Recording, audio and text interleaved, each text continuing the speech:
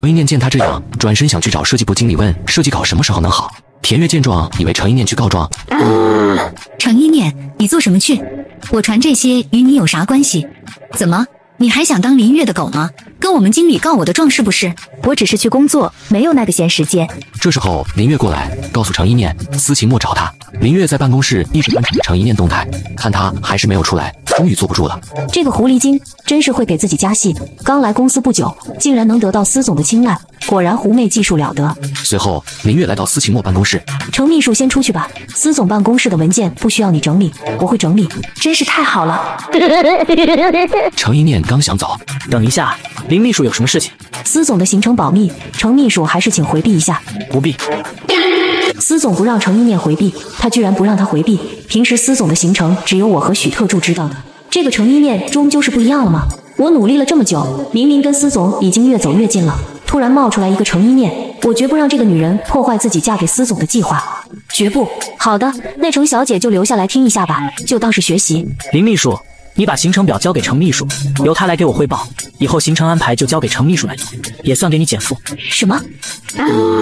这是让程一念这个女人一点点取代我了。程一念看了林月一眼，微叹了一口气。今天我要是把这份行程表从林月手里接过来，以后怕是跟林月没有和解的机会了。这个狗男人是故意给我树敌的吗？林秘书，把行程表交给程秘书。司总，您忘记了吗？她是咱们对家林一总裁林战的未婚妻呀。两年前，林月观察着司琴墨的表情，呵呵，就等着司总开口让这女人滚蛋。所以呢？所以她通过这种不耻的手段来咱们公司，就是为了帮她的未婚夫拿咱们公司的机密。不耻的手段？她勾引许特助，让许特助给自己开后门进了咱们公司，而且直接成为您的秘书。司马昭之心，路人皆知。勾引许特助？你怎么知道她勾引许特助？许特助应该也是一时失察，被他迷惑了吧？只要我们让他离开公司，跟许特助说明，想来许特助是会醒悟的。许毅抱着一堆文件，刚好推门进来，听到林月的话，在林秘书心里，我就这么容易被迷惑的？许特助，抱歉了，这一次我不能帮你了。这件事情已经捅到了司总面前，这个女人怕是真的不能留下来了。留不留，应该不是你我说了算的。林月没有明白许毅的意思，有些茫然的看了他一眼。被迷惑的不是许毅，是我，所以让他当秘书的也是我。林秘书，还有什么意见吗？这个啥呀？这个狗男人说的什么话？把我说的跟个花瓶狐狸精似的，我哪迷惑他了？把文件交给程秘书，出去。林月深深的吸了一口气，努力的调整好自己的面部表情。程秘书，拿好了。司总，我只是一个秘书，你这样为我树敌不好吧？还有，我怎么迷惑司总了呢？司总，你这样是毁我声誉啊！程小姐，司总那是在夸你。其实毁的是他自己声誉哈，他说被你迷惑是在夸你漂亮，而他自己却成了一个心智不坚的色狼了。你看他比你损失大，我这是在帮你开展工作，你该感谢我。程秘书当秘书就该有当秘书的样子，不要总想着偷懒。下班后，程一念找来蓝莹莹去逛街，正在试一件好看的裙子，突然有人叫她，程一念回头看见林曼和沈星月，程一念当做不认识，没有开口说话。漂亮吗？美，美极了，像个仙女。夸张了呀，程一念，我叫你，你没有听见吗？是聋了吗？你是哪位？你你还装不认识我？我问你，你最近去哪里了？你管得着吗？我跟程一念说话的，蓝莹莹，你滚远点！哈哈，我们念念已经结婚了，你们不要再纠缠他了。程一念，你为了我哥主动找你回去，这种谎话你也能编得出来啊？还发朋友圈，你也不看看你发的那图片，明显就是从电视剧截图的呀。那么唯美，那是你的手吗？原来我觉得唯美好看的，在别人眼里居然是假的。你觉得我是为了让你哥主动找我回去？那就请你一定要告诉你哥，千万别来找我，省得被我拿捏。你听我解释，我跟林总真的什么也没有，你别误会了我们。我不想因为我让你们闹得不愉快，你还是赶紧回到林总身边吧。如果如果你不想看到我。以后我不出现在你们身边，我也会从零一辞职回去，好吗？程一念恶心的将手从沈星月手里抽出来，沈星月突然就往后倒下去了。林战一个箭步接住了沈星月，星月，你没有事吧？沈星月抹着眼泪，轻轻摇头。你不要怪一念，是我自己不小心摔倒的，只是，只是他还在误会我们，你快去跟他解释一下吧，这样他就会跟你回家了。看到爱慕自己的沈星月受了如此大的委屈，林战怒气地看向程一念。当林战目光落到程一念身上时，被他现在的穿着惊艳到了。原来程一念打扮起来也这么漂亮呢。沈星月看着林战，目不转睛地盯着程一念，狠狠地咬了咬牙，拉了拉林战的手。林总，你你快去跟一念解释呀，别让他再误会我们了。他刚才明显还在生气呢，才会不小心让我跌倒。我早上吃的饭都要吐出来了。这个沈新月是从绿茶学院毕业的吧？这茶言茶语简直满级了！明明说着前后矛盾的话，可是却能让男人们产生保护欲。莹莹，我们快走吧，我可不想喝绿茶了，怕晚上睡不着觉。程一念，你还预备跟我闹多久？闹？你觉得我在跟你闹吗？林先生，我记得我跟你说的很清楚了，我们结束了，不要再自作多情了。程一念翻了一个白眼，准备离开。林战一个箭步过去，一把抓住程一念的手腕。因为林战动作太大，沈星月差点跌倒。看着林战握着程一念的手，沈清月极度的发疯。明明我已经努力了这么久，明明我已经让林战讨厌程一念了，明明我们最近相处的很愉快，我跟他的家人也相处的很好，可是为什么？为什么他一看到程一念，还是追着程一念去了呢？真的只是为了那百分之二十的股份？我不能在林战面前撒泼，保持镇静。松手！我记得我说过，我不喜欢你高冷的模样，你又忘记了？是啊，当初在大学的时候，林战追了我整整一年才追到，后来我们在一起以后。我不喜欢你高冷的样子，我看着你那张高冷的脸心就痛。以后我一定要待你温柔，不可以再高冷了。那时候的我感动得一塌糊涂，决心跟定这个男人一辈子了。现在我才知道，当时做的那个决定多么愚蠢，让自己陷入万劫不复之地。林战，你以为你是谁？我喜欢你的时候，我可以捧着你；可是我不喜欢你的时候，你屁也不是。别在我面前装什么霸道总裁了。林曼看见程一念这么对待自己哥哥，她气不过。程一念，你不跟我哥在一起，现在都只能穿过季打折的衣服了，连件正经衣服都买不起吗？有些人还有脸说，我们念念离开某些人以后，可终于能穿上一件新衣服。跟某些人在一起几年，他可从来没有买过衣服。毕竟他赚的钱还要拿来养猪，你说谁是猪？谁接我话我就说谁呗。蓝盈莹，你这个贱人，看我不撕烂你的嘴！慢慢注意点形象，大庭广众之下，你还要跟人动手吗？林战走到程一念身边，一念，之前是我考虑不周，让你受委屈了。以后我每月会给你家用，今天你也不要买这过季打折的衣服了，选一件新款的吧，我来付钱，别再跟我闹了，好吗？哥，他都不回家去照顾我跟妈，你还给他家用，还要给他买衣服，凭什么？他就只配穿那过季打折款，过季打折款怎么了？好看呢。我们念念长得好，身材好，穿啥都好看，不像有些人，就算穿个最新款，也像个村姑、土肥圆。沈新月看到程一念穿的这么好看，气不打一处来。程一念怎么能配这么好的衣服？既然他能穿这么好看，我穿上林寨一定也会觉得漂亮。哥，我想告诉你一件事情，你可不要生气。刚才我从那店长话里意思听出来了，现在程一念在给你死对头当秘书呢。你说他怎么可以这么做？什么？你怎么知道？你突然这么大声做什么？惹你的是程一念，又不是我。当初他发那条朋友圈之后，后我就该去找他的。是你是你说他这是欲擒故纵，是故意这样，想让我主动找他回来。你说让我不要去找他，让我忍住。现在好了，他去了我的死对头那边了。你知不知道他手上还有零一百分之二十的股份？我怎么知道他会去你对家？你现在凶我做什么？我也是为了你好啊，不是你自己也一直担心程一念会拿捏住你吗？是你自己总是让我跟妈妈给你出主意。你哭什么？别哭了。你不是说当初他给过你对家那个老总难看吗？他居然还会收成一念，你对家那老总脑子也有病。你为了两个有毛病的人凶我。沈新月去洗手间刚回来，就听见两兄妹在吵架。你不是主意最多吗？你快点再想想办法，怎么才能让程一念回来？程一念不仅手里有百分之二十零一股份，而且公司许多客户还有代理商，甚至还有些供应商都是程一念谈的。如果程一念一旦投到对家公司，那林一就有危机。沈星月听到林战的话，他苦自笑，他终究还是想让程一念回到他身边。为什么？为什么会这样？沈星月压住自己的怒气和委屈。林总，曼曼，你们怎么了？没什么，回去吧。回去做什么？还没有吃饭呢。家里饭不能吃吗？我不回去，妈做的饭没有程一念的好吃。你要气死我！慢慢，别难过了，你哥也只是在气头上，快别哭了，妆都哭花了，别跟人哥闹脾气了。你哥他每天工作可累了，今天还特意抽时间陪你逛街，你应该体谅他的。听到沈星月劝林曼，林战心里一软。新月虽然没有程一念漂亮，没有她有能力，但是她够温柔，跟我的家人相处的更好一些。他心里矛盾又纠结，一边放不下程一念的美色，还有能帮助他稳固事业的能力，一方面又想享受着沈星月的似水柔情和善解人意。星月，你真的是太好了，你这样温柔，不知道我哥怎么想的，为什么非要找那个程一念？他们才是一对。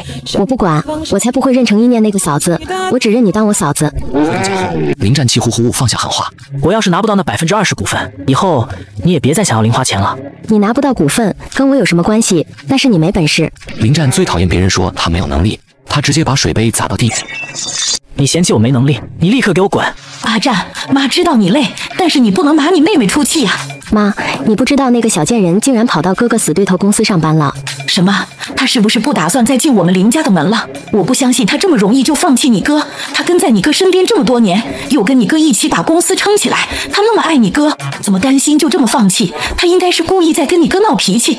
而且就他现在那模样，谁还会要他？妈，我觉得你说的对。他所仰仗的不过就是手里那百分之二十的零一股份。他故意去你哥对家公司，就是想让你哥着急，让你哥跟他低头。现在就是要看谁能抗得过谁了。要不然这样，曼曼，你去给程一念打个电话，叫他回来，也算给他台阶下了。我还不信他不回来。为啥我要给他打电话？他不回来就算了，哼，反正他迟早要回来。你看你哥现在都着急了，你就打一个。你不打，难不成要你妈我豁出老脸打吗？他程一念有这么大的脸，我要是打了以后，他还会听我的吗？好，那我就给他打一个电话，让他回来。反正现在家里也没有人做饭，等他回来了，我们再好好收拾他。逛完街回去已经是晚上九点多了。程一念一进门就看到司琴墨坐在沙发上。晚上你没有坐我的车回来，所以今天的油钱你不用给了。司总可真是大方。司琴墨看着程一念今天新买的衣服，不由得咽了咽口水。我见的美女不少，可是此刻我还是被迷惑了。你看什么呢？你喜欢衣服，可以刷我的卡，不用买去年过季的衣服。你这样好像我给不起自己妻子一件衣服。司总要是没什么话，我就回房间了。回到房间后，程一念手机突然响起来。你好，我是程一念。程一念，我再问你一遍，你到底回不回来？呵呵，跟你没话说。程一念，我告诉你，你再不回来，以后就没有机会回来了。我哥就会跟新月姐在一起了。那我祝福他们。程一念，你别再玩这样的把戏了，我们可不吃这一套。我再给你一次机会，一个小时之内回来，跪在门口跟我妈认错，再发朋友圈和微博，承认那天是你陷害新月姐。只要我妈和新月姐姐原谅你了，你就可以回来住了。只要你把我妈和我照顾好了，你就还可以像以前一样生活。听着林曼这一番自以为是的话，程一念扑哧一声笑了出来。回去还要给你们下跪。林曼白日梦做起来比较香，是不是？要不你怎么这么喜欢做白日梦呢？我给你妈下跪道歉，还承认自己陷害沈新月。你是喝了多少才能说出这样的荤话来？你还是快点洗洗睡吧，梦里啥都有。程一念，你还在强撑什么？今天是我给你最后一次机会，你不照做的话，你就别想再嫁给我哥。那可太好了，感谢你哥的不娶之恩。一念，别再闹了，你知不知道我每天有多累吗？你为什么就不能跟新月和平共处？新月是你的继妹啊，你们也是好闺蜜，现在为什么要这样闹？而且你跟她也没有什么可争可比的，你是我的女朋友，她是我的秘书，没有什么关系啊。快点回来，我可以当做什么都没有发生。林战，你是耳朵有毛病还是脑子有毛病啊？我说过那么多遍的话，你是听不到还是听不懂？我跟你结束了，而且我已经结婚了。战和林曼居然在里面给程一念打电话，明明昨天碰到程一念，他态度已经很差了，他们还要联系。之前林曼都是一直向着自己的，难道现在也要向着程一念了吗？林曼当初可是跟他说，只认他一个人当嫂嫂的，现在就变了，原来靠谁都没用，一切都是假的，只有靠自己。程一念不是渴望母爱吗？白锦绣就是最好的棋子，那我就让程一念永远也得不到母爱。慢慢尝尝我给你泡的咖啡。谢谢新月姐，林总，前几天我看到一念的朋友圈，说自己结婚了，我当时还以为他故意气你的，可是昨晚他那个朋友也说他结婚了，他他是不是因为误会了我们，所以随便找个人嫁了？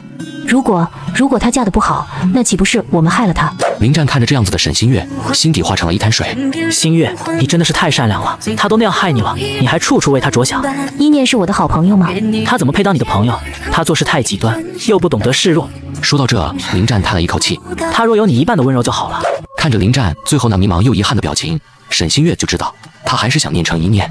一念那样其实更好，不会想太多，也不用管别人怎么想，活得比较轻松呢。像我这样的人，活得就比较累一些。是啊，不用管别人怎么想，那就是自私。他就是太自私了。他口口声声说爱我，现在也不管我累不累，就这样跟我闹脾气，故意气我。他没有结婚，只是发了个假结婚证，还有找了一张电视剧截图，故意气我的。所以新月，你不必有心理负担，觉得你对不起他，你并没有什么对不起他的。林战话里话外的，还是把我当成外人，把程一念当成自己女朋友。看来我还得再烧一把火，让林战彻底的讨厌了程一念。原来他只是闹脾气啊，那就好，那林总哄哄他吧。如果需要我出面解释的，就找我，我先出去忙了。就不打扰你们兄妹说话了。站在林战家门外，沈星月立刻换了一副面孔，脸上早已没有了面对林战时的温婉可人，全是怨毒之色。我不仅要让林战彻底的厌了程一念，更要让林战心疼我，继而爱上我。那天我在酒店里的样子被许多人录了视频，现在他们还私下在传呢。不过倒是没有人敢发到外面，应该是林战插手了这件事情才没有传出去吧。可是这个东西如果一直没有传出去，就会像个定时炸弹，随时都会爆炸。我总是会担心什么时候会传出去，倒不如现在就传出去的好。如果是程一念将这视频传了出去，再极尽的往他身上泼脏水，林战和白锦绣一定会对程一念很失望、很厌恶吧？林战和白锦绣可是最喜欢同情弱者的，他们之所以现在总是跟程一念闹不愉快，就是因为程一念不会示弱。到时候我可就是弱势一方，是被程一念害的一方了。林湛和白锦绣一定会更心疼我。林湛和白锦绣一定不会看着我被程一念害的，他们会给我主持公道的。我什么都不用做，他们便会替我把程一念定在耻辱柱。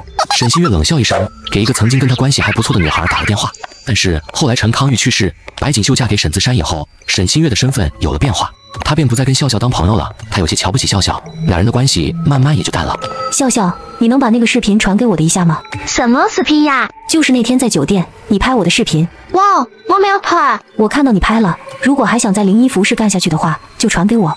我当时拍沈新月这份视频，一方面是气沈新月的嫌贫爱富，自己富有了就瞧不起我了，不当朋友也就算了。可是他还总是明里暗里的嘲讽我。另一方面，如果有一天我混不下去了，就拿这视频来威胁沈新月。但没有想到，我还没有利用这份视频来威胁沈新月的，反倒让沈新月先威胁了我了。好，我传给你，你保证让我好好留在零一服饰工作。放心吧。我不仅保证你留在这里工作，我还会向林总进言，让他给你升职加薪。沈新月用电脑将视频剪辑了一下，前面他发浪的部分全部剪掉，而林战护着他的部分全部留下，然后在微博上面注册了一个小号，他才将那个剪辑好的视频发了出去，并且以程一念的口吻在微博上发了一条博文。一条微博在网上激起千层浪，接上集。沈子山带着白锦绣来到程一念的公司，不分青红皂白的上来就是一巴掌。程一念，你怎么这么过分？你怎么能做出这样的事儿来？你为什么这么恶毒？你都在微博上面发了些什么？你为什么要这样害心月？他到底怎么你了呀？这一巴掌把程一念打蒙圈了，不明所以。你在说什么？我听不懂。一位同事赶紧把手机拿给程一念看。一念，热搜第一条，那个是谁发的啊？是以你的口吻发的。你别跟我装糊涂，微博不是你发的，也只有你心地这么恶毒的才能发出这样的话来。我害他。我要害他发视频的时候，肯定不会打马赛克的。程一念，你听听你说的是人话吗？新月是你的继妹，曾经也是你的好朋友，你怎么能这么对新月？我怎么就生出来你这么个玩意儿出来？呵，我也想问，你这样被白莲花耍的团团转的智商是怎么生出来我的？要不我们做个亲子鉴定吧？也许我根本不是你女儿，你就是这样跟自己妈妈说话的。程一念，你看看你爸把你教成什么样子了？没有教养。是啊，我有爹养，却没娘教，怎会有教养呢？我妈着急教养别人的女儿呢，哪有空教我？好了，锦绣。说正事，吵有什么用？程一念，你做出这种事情来，伤害了新月，你必须补偿新月。你把你手上零一服饰百分之二十的股份转给新月，然后再发微博向新月道歉。只要新月肯原谅你，我也就不跟你计较了。原来还是打我那百分之二十股份的主意，那你还是跟我计较吧。你说什么？我说我不打算给他那百分之二十的股份，也不打算向他道歉，所以你还是跟我计较吧。程一念，你不照做事吗？那以后就别想我再认你。我知道我这个女儿有多在乎我这个妈妈，也知道她有多么渴望母爱。无论什么事儿，只要我一说不认她了，她瞬间就妥协了。巧了，我正好也不想认你。程一念，你是长大了，翅膀硬了，不需要我这个妈妈了是吧？你们立刻跟我滚，否则我就叫保安了。是你自己说不想再认认我了，我顺着你的意思也有错。气死我了，白锦绣，这就是你的好女儿？你不说你好女儿什么都听你的吗？丢死人了！回家。程一念看着他们离开的背影，陷入了沉思。沈新月真的很了解我，不应该说很了解前世的我。他知道我在乎林战，渴望母爱，他就用这样的苦肉计，让他失去母爱，失去林战。所谓杀人诛心，莫过于此。沈新月，我本打算放你一马，没想到你自己发自己不堪的视频，那我可得成全你，不能让你失望。前世程一念记得林一服饰有一个叫笑笑的，这个笑笑在他遭遇酒店那一切的时候，在所有人都嘲笑他的时候，是这个女孩给他披了一件外套。套也算是一个有恻隐之心的姑娘，因为一次的帮助，笑笑最后被沈星月害的最后去酒店当陪酒女了。这个笑笑就是最好的突破口。第二天，程一念开车来到乡下笑笑的老家，凭借前世的记忆，发现一位坐在村口的大汉就是笑笑的父亲。叔叔你好，我是笑笑的朋友，我叫程一念。哦，是笑笑的朋友，姑娘你也是在零一服饰上班的吧？我们家笑笑是个实心眼的孩子，在公司还请你多多照顾他一些。笑笑天黑才下班，刚一进屋，看见程一念一阵惊慌，内心充满了愧疚。我今天看到网上热搜的视频，没想到沈新月为了打击程一念，对自己这么狠。笑笑回来了，视频是你拍的吗？是我拍的，我当时拍视频也只是一时贪念。陈小姐，我没想过要害你的，我没想到沈新月这么狠毒。这丫头从小就坏。程一念的记忆再次回到了前世。我身边没有任何朋友，只有沈新月愿意跟我说话。我自己学生时代很不受欢迎，甚至还遭受了霸凌。当时我也不晓得怎么回事，他们突然就讨厌我了。直到后来我参加同学聚会，我躲在厕所的隔间，决定搞清楚闺蜜到底在背后跟同学们说了我什么，才让他们那么讨厌我。很快，校霸走了进来，程一念听着他们的对话。这个程一念还是跟之前一样，只要新月的东西，他就想要，想学他。对呀。不仅这样，还勾引别人的男朋友。上学期间，林湛明明跟新月一对，可是这个程一念飞扬，横插一脚，最后把人家男朋友抢走了。新月还是脾气好，这样了还跟他当朋友，好心疼新月呀。我当时听了，满脸震惊，没想到自己最要好的闺蜜这样造谣自己。陈小姐，没想到你受了那么多委屈，你说吧，需要我做什么，我都会去做的。你是我的恩人，我也算有机会报恩了。好，不过你放心，我不会让你失去工作的。等这事情办成，我会给你一份更好的工作。办完所有事，程一念回到家，刷着微博，看到热搜又多了两条。替天行道，报答小三。感谢大家，但还请大家理智。程一念点开沈星月发的一个视频，我真的很感谢大家最近对我还有我好朋友一念的关注，也感谢大家替我叫屈。可是我还请大家理智一些，不要做过激的事情。其实，其实一念他误会我了，我并没有想跟他抢林总的意思。我知道自己的身份，一念，我们是最好的朋友。你喜欢的男人，我绝不会跟你抢的。纵然林总他对我……说到这里，沈星月哽咽了一下，然后摇了摇头。没什么，没什么的。你喜欢的，我不会要的。就像小时候一样，只要是你喜欢的，我全部都会给你的。一念，我们还是朋友，对不对？我跟一念还是好朋友呢。还请大家冷静一些，不要再攻击一念了。我不希望我的朋友受到伤害。感谢大家。网友看到沈新月的视频，对程一念辱骂更厉害了。我就没见过这么恶心的女人。随后，林战给程一念打了电话。一念，你真的是太令我失望了。从前你不是这样的，你现在怎么这么小心眼又自私呢？你那样的视频一发出来，你让新月还怎么做人？你为什么要这样狭隘呢？你现在怎么变得如此恶毒？你再也不是我从前认识的一念了。程一念冷笑，随即挂断了林战电话。你还真把沈新月保护的好呢。程一念心烦意乱，约了蓝莹莹在咖啡厅。念念，你没事吧？那个沈新月太不要脸了，我擦，我真的快要气死了，好想去撕烂她的脸。生什么气？为那种人生气不值得。这种人太特么能装了，比塑料还能装。他一向爱装圣母，不过他得意不了多久了。你有想法了？我需要你帮忙，你帮我准备一个采访。你有主意了？既然你有主意，我就去准备。到时候给我撕了那绿茶的脸。程一念大概把计划给蓝莹莹说了一遍。可以，可以，你这办法很可以。不过你怎么让那个笑笑和那个李楠听你的呢？我有我的办法，你就给我准备好直播采访吧。放心，我从现在就开始给你那个直播预热一下，到时候让尽可能多的人都来直播间看你打脸绿茶婊。当然，那些键盘侠我也不能轻易放过。当键盘侠不好好当，还跳出来替天行道，那我就让他们知道什么叫天道。喂，陈律师吗？我要起诉那位微博叫栀子花的女人。我本来只打算拍你们个牵手画面的，没想到你们竟然亲起来了，哈哈！天助我也。程一念把这些画面都保存起来，然后走到这两个人身边，打扰一下。你怎么在这里？我当然是等你们了，李楠，我想找你帮个忙。我凭什么帮你？程一念把自己录的视频在李楠眼前晃了一下。当然凭这个。你录这个做什么？删掉，立刻，马上。要我删点可以，得答应我的要求。如果我不答应呢？那我不能保证这个视频什么时候会传到你哥哥的手机上，或许明天，或许下一刻。这个视频我放在邮箱里设置了定时发送。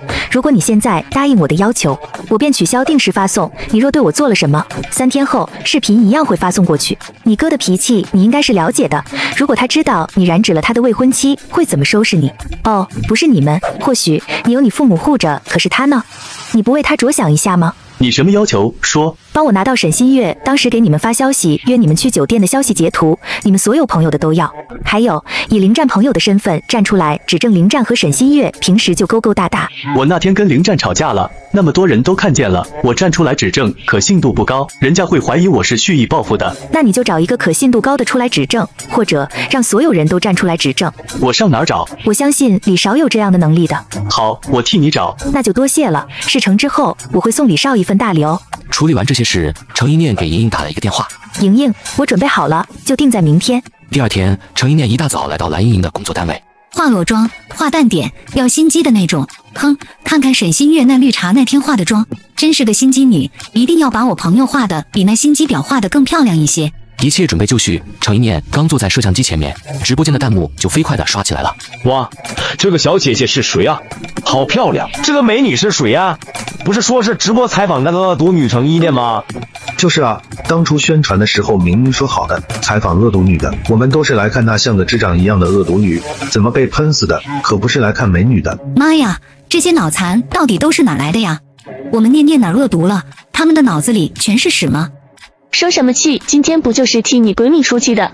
程一念小姐，对于网上说你恶毒针对你继妹，还给你继妹下药陷害她的事儿，你有什么要说的吗？卧槽，不是吧？这个女人是程一念，从来没有人告诉过我，这个程一念竟这么漂亮。天哪！其实我想说的是，那个男人是眼瞎了吗？为什么不喜欢这么漂亮的程一念，要喜欢她的继妹？这程一念一看就是花瓶一个，人家林总可是零一的老总，怎么可能会喜欢一个花瓶呢？就这么恶毒的女人，长得再漂亮也当不了女主的。程一念，你快死心吧！沈星月坐在沙发上，正在观看着直播。程一念，我看你这一次怎么翻盘？对于网上这件事情，我有两点要说。第一，网上那条视频不是我发的，我不认为自己有那么好心，因为我从来都不是什么好人。看吧，看吧，他自己都承认自己不是好人了。如果这条视频真的是我发的，以我对沈新月的憎恶程度，我应该不会给重点部位打马赛克，更不会给视频进行美颜。如果真如博文说的那样，我就是为了让沈新月去丢脸的，我又何必打那样好的马赛克？真是一点没有漏。不不不，我觉得程一念就是狡辩。如果他不打马赛克的话，这视频肯定发不出来吧？程一念小姐，大家都说，如果不打马赛克，这条视频发不出来。你应该是为了能发出来，不得已打的马赛克吧？你怎么说？就算马赛克是我打的，那我何必要给他美颜？他不是越丑我越开心吗？这倒是。另一点就是，林战本来就是我未婚夫，我又何必再去抢？而且那天如果真是我给他下的药，那我又怎么会叫林战来呢？他是我的未婚夫，我让他来看别的女人，我傻吗？虽然这个视频里只出现了林战和沈新月，其实那天现场除了他们俩，还有许多人呢。那天到底是怎么回事儿？就让在场的人来说说吧。许多在场人，呵呵了，怎么可能有人给你程一念作证呢？那天在场的要么是林战的好兄弟，要么是林一的员工。林战可是警告过所有人了，这件事情他已经插手了，所以那天的那些视频和照片才没有流传出去，不可能再有人给他作证了。锦绣和沈子珊从公司回来，看到沈新月缩在沙发上哭。新月，你怎么怎么在哭呀？你跟阿姨说说。锦绣阿姨，为什么一念这么恨我？为什么她总是想毁了我呢？我们明明从前是朋友呀，他现在为什么要这样对我？程一念又欺负你了？没有，都是我不好，是我惹他生气了。你告诉阿姨，他到底怎么你了？算了，我不想说一念的坏话，就当是我是我欺负了他吧。说完，沈星月快步上楼，回了房间拿手机继续看直播。他们只是不愿意在网上这样乌烟瘴气的地方说话，所以今天我将他们请来了现场，来为我做个见证。话音刚落，笑笑还有林战的一个好兄弟走了进来。当时确实有许多人在场，包括我。那天是沈星月小姐发微信请我们去给林总过生日的，并不是陈小姐叫我们去了。那天我们一到那里，陈小姐根本就不在。只有沈星月小姐在床上各种的摆 pose，那个视频就是我拍的，我从来没有发给过任何人。我承认，当时我是想拿这个视频做坏事，可是我到底还没有做，是沈星月小姐主动向我要这个视频的。这个视频除了我就只有沈星月小姐有了，所以微博上面那个视频肯定不可能是陈小姐发的，因为陈小姐不可能有这个视频的。此话一出，坐在电脑前的沈星月浑身颤抖。贱女人，贱女人，你居然想出卖我，我定会让你后悔的。笑笑小姐，请问你跟程一念小姐熟吗？我只知道陈一念小姐是我们公司林总的未婚妻，我们都没有说过话。其实那天是林战的生日，而林战是我的未婚夫。如大家所知，那个时候沈新月跟我还是好闺蜜呢。她说帮我给林战制造惊喜，所以他帮我布置酒店，让我跟林战过二人世界。可是他却请了林一所有的员工，还林战的那些好兄弟过来。所以那天那些其实是沈新月给你安排的是吗？所以其实是他想害你，想让你身败名裂。我们战哥跟程一念本来就是未婚夫妻，俩人在一起多年了。我们战哥还经常跟我们炫耀他御妻有道，说程一念有多听他话。不过后来沈新月当了我们战哥的秘书以后，他就经常跟我们战哥在一起了。平时我们战哥跟我们一起喝酒的时候，他也会跟着嘘寒问暖的。你说说，一个秘书下班了还需要那样贴身跟着吗？其实说起来，我一直觉得就是他想勾搭我战哥。感谢你们不惧强权，敢于说真话，你们都是我心目中的英雄，你们是正义使者，我真的很感激你们，谢谢。都是小事，我们只是实话实说，你不必这样。这边沈新月看完直播后，开始给林战打电话。林总，明天我不去上班了，我很抱歉，还没有给你培养出来一个能让你满意的新人。林战没有看直播，最近在准备新品发布会，根本没有时间关注这些。怎么了，新月？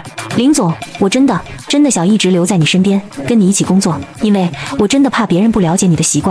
让你生气，可是现在怕是不能了。上次我已经鼓了很大的勇气才去的，这一次我真的真的没有勇气再去了。所以就算我自离吧，工资我也不要了，就这样吧，我挂了。星月，到底怎么了？你有什么事跟我说，我会帮你。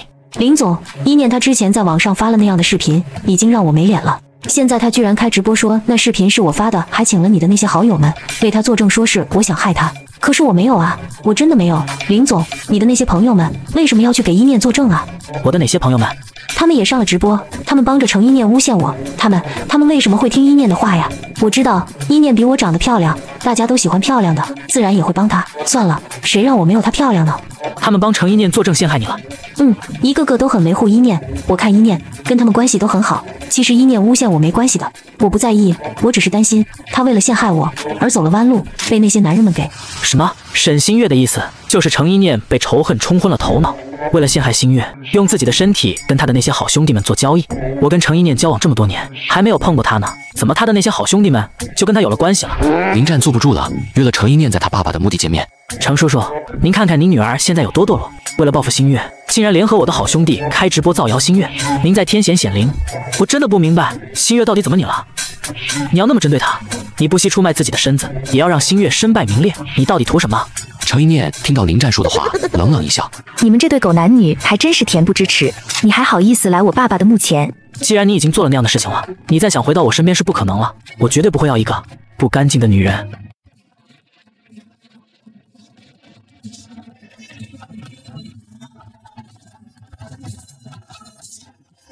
本新月义务完毕，把林战迷得神魂颠倒。林战对沈星月更加心疼。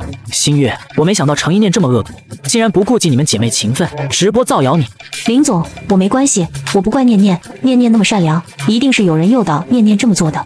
你的意思是蓝莹莹？以念念的性格，她最不喜欢把家里的事情拿到外面去说。如果不是有人教唆来破坏我们的关系，我想念念一定不会这么做的。蓝莹莹，你这个小贱人，我收拾不了程一念，我还收拾不了你。林战看着沈星月楚楚可怜的样子，直接驱车来到蓝莹莹家。你是什么人，在这里做什么？林战从黑暗中走出来，站在蓝莹莹面前，把程一念叫出来，我有事问他。你不是约了一念了吗？怎么林少又来我这里找他呢？告诉我，程一念在哪里？有本事你就自己找她老公家里找去啊！蓝莹莹，你别忘了，曾经星月也是程一念的好闺蜜，现在程一念却那样针对星月，也不知道星月是怎么得罪了她。你现在这样维护她，你就能确定自己以后不是下一个沈星月？我当然不会是下一个沈星月，至少我不会去抢闺蜜的男人，更不会嫉妒闺蜜。是程一念跟你说的，说星月跟他抢我，他就是小心眼。星月是我的秘书，跟我一起工作，他就嫉妒，现在居然做出那样的事情来害星月。还说你们没有一腿，那你身为念念的未婚夫，为何处处护着沈星月？我只是帮理不帮亲，我对程一念不够好吗？不让她上班，养着她，她还要怎样？你所谓的不让念念上班，就是让她在家里当保姆吗？还是那种米其林厨师级的保姆？像这种保姆工资可都很高的，你一毛钱不给念念，你们全家住在他爸爸给他买的房子里，让他给你们当着免费保姆，你现在还有什么脸站在这里说你养着念念的？哦，对，你不仅不给念念工资，你们全家的吃喝拉撒还全都花他的钱。听到蓝莹莹说这些，林战心里恨恨的。这些事情不是你想的那样，我也跟你解释不着。你和程一念必须去给新月道歉。你们为了报复新月，可真是什么事儿都做得出来，把一个好好的人逼成了什么样子？跟沈新月道歉，你没事儿吧？全世界都知道是沈新月对不起念念，结果你还让念念去跟沈新月道歉，还说什么帮理不帮亲？我看你是帮查帮表，不帮自己未婚妻，真他妈的！念念当初怎么看上你这个凤凰男的？蓝小姐，我今天来不是想跟你吵架，请你说话注意一下措辞。你以为我想跟你吵啊？我可从来不喜欢跟脑残吵架，麻烦让让，别挡在我家门口。没有什么事情，林总，请你离开，否则我会报警。蓝莹莹转头跟她男朋友说：“你快回去吧。”有一个这样危险的人在你门外，我不放心。今晚我陪你。程一念回到家，坐在阳台上出神，是因为林战出轨了，所以你来墨兰青衣，为了报复林战。记住我们的约定，别管我的事。说完，程一念转身回到了房间。可是你的事，我就算不管。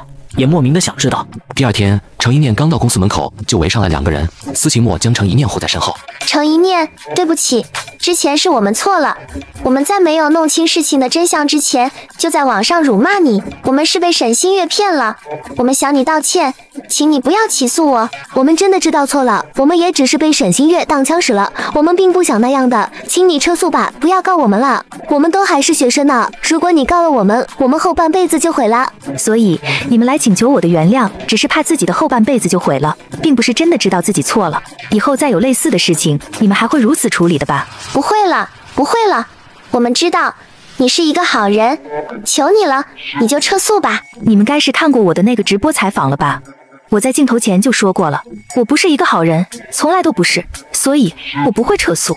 都怪你。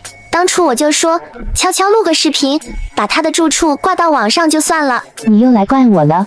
当初我提议替天行道的时候，你们也都赞同了呀。当时你们不也想火一把吗？你们不也想当网红吗？现在出了事儿，一个个都又来怪我。算了算了，拆伙吧。你真打算起诉他们吗？嗯，他们之所以要做那样的事情，绝不是替天行道，为了正义，他们只是想红而已。现在太多人想红都想疯了，什么事儿都做得出来，根本就不管什么礼义廉耻，什么事实真相。这一次他们对我倒是没有造成实质性的伤害，我起诉他们，顶多给他们一个教训。可是如果我现在要是不起诉他们，以后他们为了红再做出更多那样激烈的事情来，或许真的要吃官司了。这一次新品发布会的设计稿为什么还没有交上来？催设计稿的不是我，是交给程一念了。我不管交给了谁，今天下班之前我必须看到设计稿。好好的，我马上去催。那个程一念办事就是不牢靠，他都去催了好几天了，还没有拿到设计稿。是程秘书的工作，自然让他自己去做。不过他从到咱们秘书办，就一直是你在带他，你也有督促之责。刘雅从明月办公室出来，立刻冲着程一念冷声道：“程一念，你到底能不能胜任这份工作？你去设计部催稿子，为什么到现在还没有催到？别坐在这里了，现在马上立刻就去催。今天下班前。”必须把稿子拿上来，严经理，这一次新品发布会的设计稿为什么还没有交上来？明月姐刚才说了，今天下班前必须交上来，应该是司总下了最后通牒了，严经理自己看着办吧。今天下班前，好，我们尽力。不是尽力，严经理是必须今天交上来。好，好，好，知道了。秘书办的程秘书在你们设计部，你们画好了交给程秘书，让他拿上来。到了下班时间，设计稿还是没有全部交上来。严经理只能亲自打电话给林月。好，没关系，司总那边我会帮你们说话的，你们也不用急。林月就是故意这样，自己说不急，而让程一念一直去催，让设计部的人都讨厌程一念。因上次说林月走楼梯的事情，田月跟程一念闹得不愉快之后，田月就一直挺烦程一念的。诺，所有的设计稿在这里了，也不知道你催个什么劲，人家林月都说不急了，你还催，可真行。之前还说什么自己不急，都是上头让催的。现在我才看清，分明就是你自己着急，想表现自己呢，害得我跟你一起加班。你加班是因为我吗？难道不是因为你只是个设计助理吗？你若是一位设计师，也跟他们一样早早下班。第二天，刘雅早早在办公室等程一念。你把设计稿赶紧拿给林月姐。在平时，刘亚都是自己拿给林月的，她一向喜欢在林月面前表现的，今天倒是奇了怪了。程一念将包里的文件全部确认一遍，没有问题后，程一念掏出手机，将这些稿子录成视频。然后拿着手机和文件夹去了林月办公室。这期间，程一念也没有关掉录视频功能。林秘书，这里是这一季新品的全部设计稿。好的，我收到了。你出去吧。这林月怎么对着我笑得这样甜？他们肯定有问题。程一念偷偷把打开录屏的手机放在林月办公室。出门后，程一念从视频看到林月居然从刚才自己给他的那个文件夹里取出一张设计稿，然后将自己桌上的咖啡杯端起来，朝着那张设计稿上倒去。也不知道是谁得罪了林月，居然要这么害别人。程一念迅速把视频保存好，回到自己的工位。程一念，司总找你。程一念放下手里的工作，起身朝司期末办公室走去。呵呵，程一念，你跟林月姐争还嫩了点。今天是你在墨兰青衣工作的最后一天。刘亚伸手把程一念桌上的一盆发财树拿起来了，小声嘀咕道：“反正以后也用不着了。”司总，您找我。程秘书，你作为秘书，能不能有一点常识？什么常识？你知不知道一个服装公司设计稿对公司来讲有多重要？你居然这么不小心，或者说你是故意的？林秘书在说什么？程秘书还要装作不知道？你看看，你把这份设计稿弄成什么样子了？这还怎么用？程一念垂眸看去，只见文件夹里赫然有一张被咖啡浇过的设计稿。设计稿上面的图被咖啡球的，连大概轮廓都看不太清楚了。原来林月不是跟别人有仇，而是跟我有仇。他毁这张设计稿，就是为了嫁祸给我呢。难怪我一到办公室就觉得不对劲，尤雅不对劲，林月也不对劲。不过林月肯定想不到，我开了手机录了视频，把他的所作所为全部录下来了。林秘书凭什么说是我弄的？不是你弄的是谁？这个文件夹除了你接触过，没有经过别人之手。难道严经理会自己毁了设计稿？他是不想干了吗？李秘书不也经手了？程一念，你知不知道我在公司多久了？我又有什么样的动机去毁公司的设计稿？对我有什么好处？程秘书倒是有动机去做这样的事情，毕竟程秘书可是零一服饰总裁的未婚妻，在两家公司马上要上新品、要开新品发布会的时候来这么一出，就是想让我们墨兰青衣输给零一服饰是吗？这林月的逻辑思维能力还真是强啊！如果我今天没有视频，恐怕就要被他冤枉死了。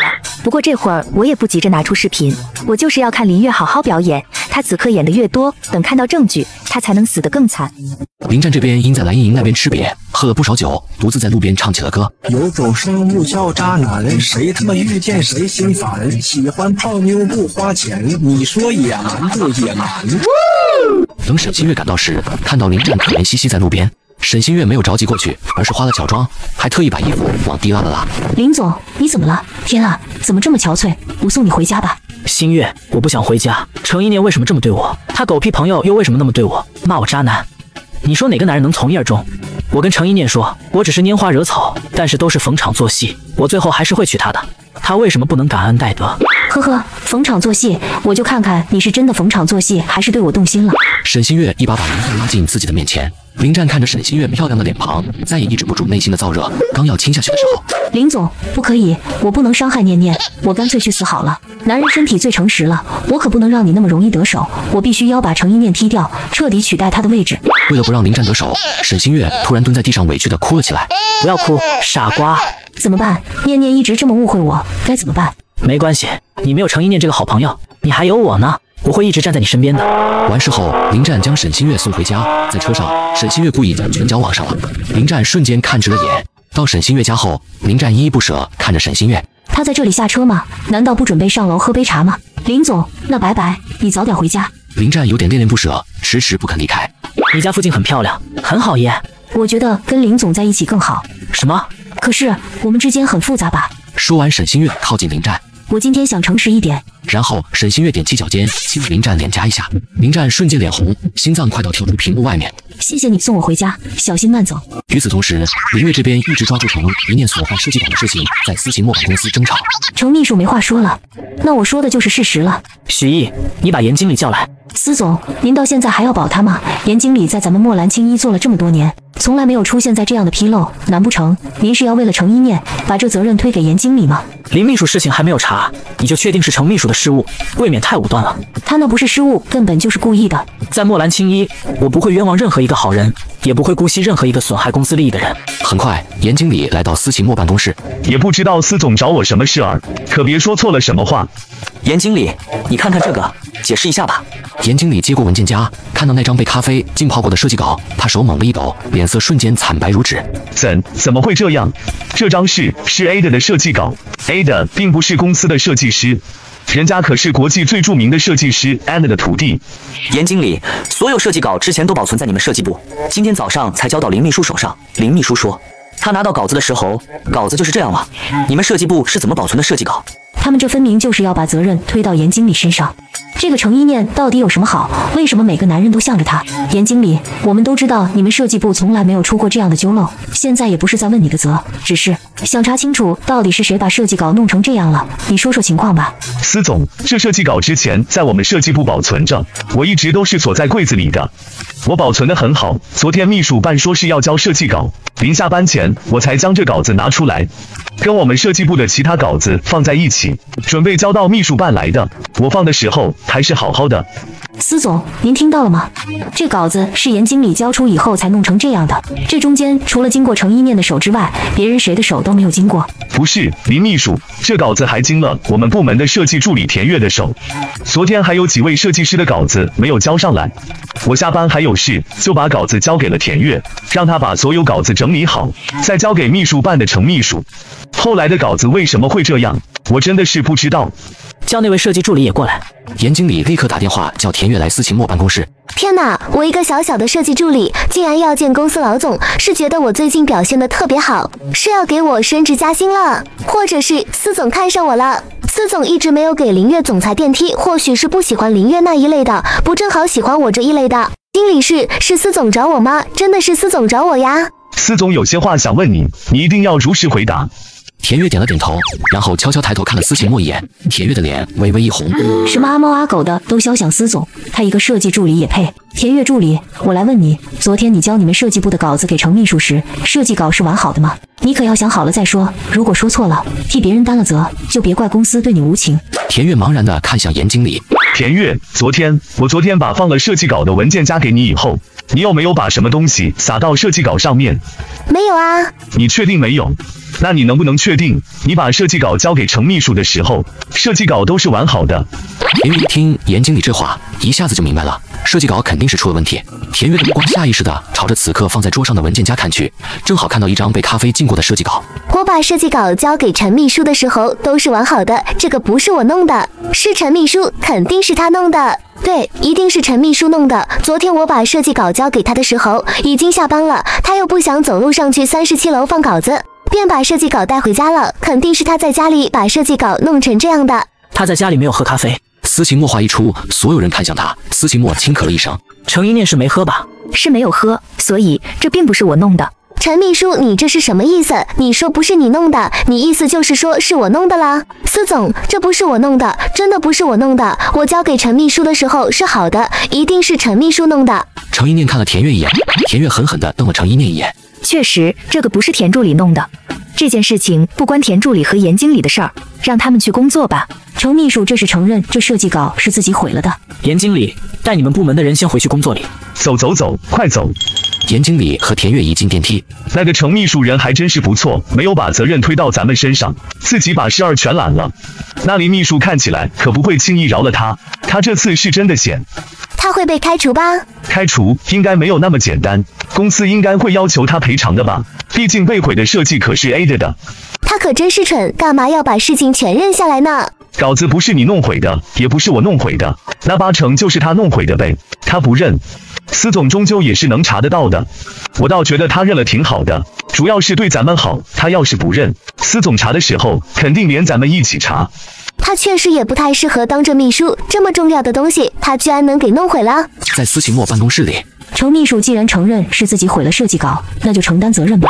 现在还不是追究责任的时候，新品发布会马上要开始了。林秘书，你认识 A 的，先找 A 的重新画一张设计稿。司总，您到现在还要维护这个女人吗？是他的责任，他就该承担，凭什么让我替他收拾烂摊子？林秘书确定是替我收拾烂摊子，而不是给自己收拾烂摊子。你自己都说了，这张设计稿毁了语言经理和田小助理无关，接触这张稿子的也就只有你们三个人，不是他们俩，不就是你吗？扯我做什么？林秘书可真是健忘呢！我之前不是就说过了，你也接触过这张设计稿的？怎么，你的意思是我毁了这张设计稿吗？你觉得谁会相信？许特助会信，还是司总会信？证据面前，由不得他们不信。程秘书有什么证据？你要真能拿出来证据，我这总秘书给你做。好，一言为定。程一念拿出之前录屏的手机视频。程一念，你个小贱人，我看你以后怎么嚣张！哈哈。林月看着这样的画面，她不可置信。程一念居然录了视频，他为什么会录视频？林秘书，这个证据够吗？林秘书，你这是什么意思？自你来公司，司总待你不薄，你为何要这样做？你不知道公司如果失去了 Ada 的设计稿，会损失多惨重吗？你为什么要这样毁公司？我我没有想要毁公司，没有要毁公司，你是不清楚公司为 Ada 的设计做了多少宣传吗？如果失去了 Ada 的设计，我们那些宣传就会白白浪费，而这一季度我们也再没有主打款了。许特助难道忘记了 Ada 能为咱们公司提供设计，是我找的他，他是我朋友啊，我可以再找他画一张。我只是不希望程一念再留在咱们公司，他一个对家老总的未婚妻来咱们公司肯定是不安好心，你们却一个个被他那张脸迷惑。我没有办法，我真的没有办法。我看着咱们公司从三个人做到现在变强变大，我不想他因为一个女人就垮了，我必须要把这个女人弄走。我到底安没安好心？司总自有决断。林秘书用这样不理智的方式，甚至损害公司利益来跟自己的同事勾心斗角，就已经不适合干这份工作了。林秘书，把你手上的工作跟程秘书交接一下，以后这总秘书之职由程秘书担任。司总，您真的要炒了我吗？去交接。司总，现在 Ada 的设计稿被毁了，只有我能再让他画一张出来。如果我离开了公司，这一季的新品发布会就毁了，我们就又要被零一服饰压上头了。这两年来，我们已经能跟零一打个平手了，您甘心再输给零一吗？而且，如果我不在公司了，以后 Ada 将不会再为咱们公司提供设计，以后我们将永远输给零一服。许毅，林秘书，请。林月没有再说什么，跟着许毅还有程毅念到了总秘书办公。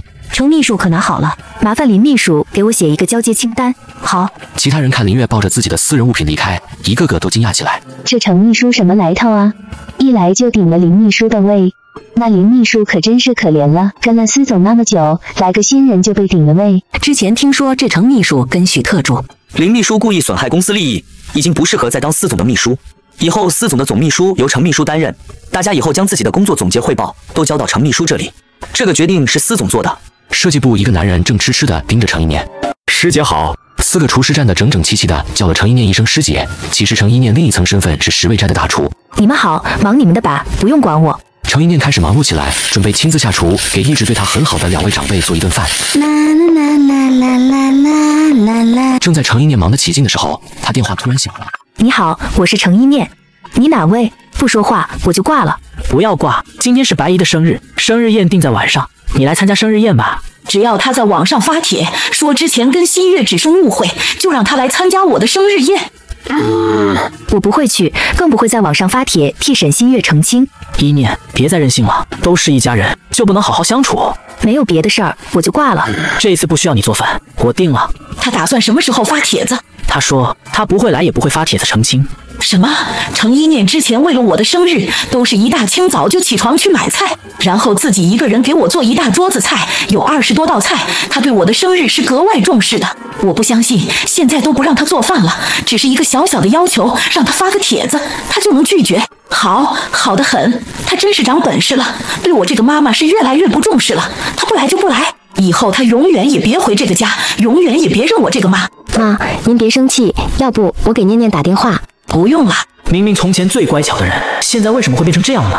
今天如果程一念来参加白锦绣的生日宴，我也可以找机会跟他缓和关系，让他赶紧回到我身边。我真的很不喜欢他不再受控制的感觉。我尽了自己的人脉关系，给白锦绣在十味斋订了一个小包厢，就是为了可以和他缓解关系。他居然不来。这边程一念不知道林战在十味斋给白锦绣办生日宴，两个小时，程一念将他要做的菜全部都做好了，正在门口迎接张叔和楚阿姨。一念，你你今天是来给我妈庆生的吗？程一念一抬头，看到沈星月挽着白锦绣走过来，他们亲密的像母女。他来了，他到底是来了。之前还说的那样决绝，说什么不来？看来他还是之前的一念，嘴硬心软。哟，不是不来吗？现在又来做什么？我这个女儿还是在意我的，她永远都离不开我这个妈妈的。以前我什么都没有，她离不开；现在我得了程康玉的所有财产，她只会更离不开。之前说不来，不过就是嘴硬罢了。沈星月看白锦绣嘴角挂着笑意，气不打一处来。白锦绣口口声声说把我当成亲生女儿，似乎是事事为我着想。可是看到程一念，她还是忍不住高兴。一念，你今天能来，真的是太好了。我一直还担心，因为我让你们母女生分了，现在没有生分，那就太好了。对了，你一定准备了白衣心仪的礼物了吧？拿出来让我们看看吧，也好向你学习学习。你是白姨的亲生女儿，最是了解她了，知道她喜欢什么，不像我，就只会准备一只金手镯。果然，沈新月这句话一出，白锦绣看到程一念空着手，脸色瞬间就变了，胸中一股子怒气。既然都来了，怎么不准备礼物呢？你天天跟你白姨生活在一起，都不了解她。还口门声声的说当她是亲生母亲，我看也没有对她多用心嘛，连个她心仪的礼物都准备不好。我给白锦绣准备的那个手镯，就是随便在网上买的，连花色都没有认真挑选，烂大街的那种。沈新月心虚的看了一眼白锦绣，果然白锦绣也在看他。白姨，我我最近遇到太多的事儿了，心烦意乱的。可是我真的有用心给您准备礼物的，我只是没有那么多的花花肠子罢了。白锦绣一想到最近沈星月被网暴的事情，这些全是拜成一念所赐，她就心疼起来。你还有脸在这里说话？你看看你都做了些什么事儿？你为什么要那样害星月？你现在立刻在网上发帖，说之前跟新月是误会，别让那些人再来骂新月了。白姨，您不要为了我这样凶一念了，她毕竟是您的亲生女儿，而我才是外人。我其实一直把您当成亲生母亲，可是我心里却很清楚，您是有自己的亲生女儿的，所以我从来都没有奢望自己真的能成为您的亲生女儿。傻孩子，白姨也一直把你当成亲生女儿的，别说傻话。她有什么资格生气？她对我不孝顺，你孝顺我，我认你当女儿，以后我只当没生过他。程一念只是淡淡的瞟了他们一眼，懒得再在这里看他们表演什么母女情深的戏码，掏出手机去给张岩打电话，只是电话通了许久，却没有人接。程一念曾经跟我说过，他这一辈子最在乎的人就是他的妈妈了，而且以前他的所作所为也确实是很在乎白锦绣的，怎么可能突然就不在乎了呢？白姨，一念既然都来了，就带着他一起进去吧，他也是来为您庆生的呢。知道今天是我生日，来为我过生日，却连份礼物都不准备。好了，我们进去吧。沈星月的表妹突然来一句：“她该不会是知道这一次舅妈的生日是在十味斋过，所以想来蹭一顿饭吧？我可是听说十味斋的厨师全部都是从国外请来的米其林大厨呢。现在十味斋火的，预约排队都排到下个月了，一般人根本就进不了十味斋。”白女士，你想多了，我并不是来给你庆生的，也不需要来蹭你这顿饭。这会儿倒是会装了，你不是来给舅妈庆生的，你一早就站在十味斋门口做什么？还不是是听说舅妈在这里办生日宴，真搞笑。现在发现自己没有带礼物，觉得没脸了，就不承认是在这里等舅妈的了。我站在十味斋门口，就一定是等你舅妈吗？哦，你等谁呀？你身边有什么能拿得出手的朋友是可以进十味斋的？十味斋可不是谁想进就能进的，这里有钱都不一定能排得上队，更何况你现在还没钱呢。程一念，我真不知道你爸爸这些年到底是怎么教你的，怎么就把你教成这副样子了？你拿着我爸的钱养着别的男人和别的男人的女儿，有什么资格站在这里说我爸？程一念，我是你吗？你怎么跟我说话呢？我说的不对吗？你现在的穿的、吃的、用的，还有你身边那个男人和他女儿，哪一样不是用我爸留下来的钱买的？白锦绣被气到发抖，而在一旁的沈自山却觉得没脸。这会儿已经有好些人围观他，他总觉得别人都在说他是吃软饭的。行了，跟个孩子置什么气？快点进去吧。你就站在外面好好想想，自己错在哪里了，知道错了，给新月道歉了。或许明年我的生辰，我会带你进一趟十味斋。那边那个女的，我们不认识，一会儿可别让她打着我们的旗号进去。你现在满意了，程一念，你还要做吗？一家人好好的相处不好吗？你非要闹，你看看你现在，孤家寡人一个，连自己母亲的生日宴都不能参加，你不觉得自己可怜吗？我闹，我闹什么了？你所谓的一家人好好相处，就是我无限的委屈自己，让沈新月骑在我头上拉屎拉尿吗？